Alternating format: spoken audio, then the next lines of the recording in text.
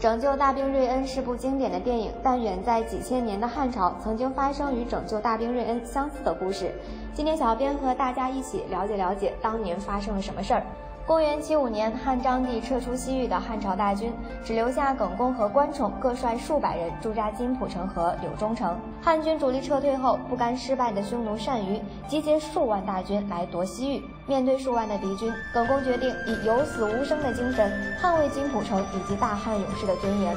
他利用毒箭，利用夜袭，一次次打败匈奴，杀伤敌军，终于迫使匈奴解围而去。